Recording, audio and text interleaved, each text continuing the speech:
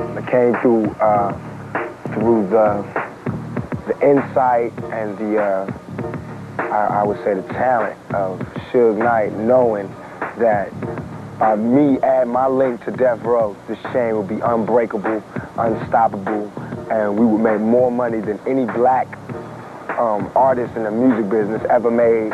We would do things that no artist, black, white, Mexican, has ever done. We will set our own mark and enforce it 30 times over, and we, we set about by doing that. And then we got my album, which my biggest world debut to number one. This new album debut to number one. That's a first for any rapper, for anybody.